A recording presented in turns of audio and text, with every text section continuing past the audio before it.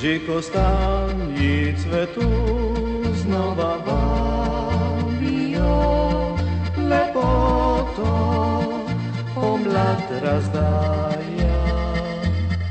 Rože pisane v travah sanjajo, ljubizni spet pozvanjajo.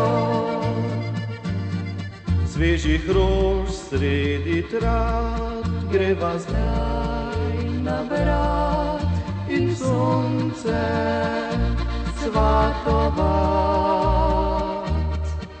Povedal bi ti sretljivat, da brez konca bolj kot včeraj imam te pomlad je najin čas, v njem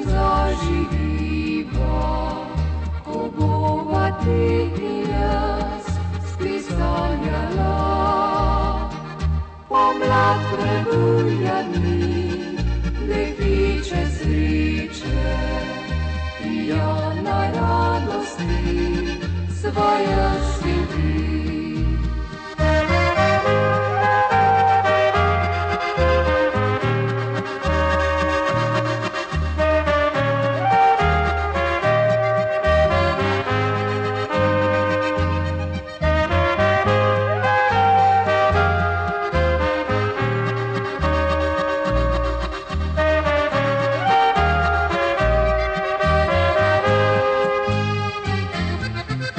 Ptice namaš goli sredi gustih vej, njih pisem do srca sega.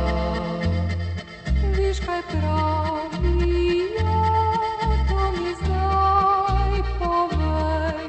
Gotovo se mi le zasmej. Lep je maj sred planjav, sredi rož in trav, za naju lep pozdrav. Le kaj bi se jeseni bal, za sedmi bo nama manjše ljubezen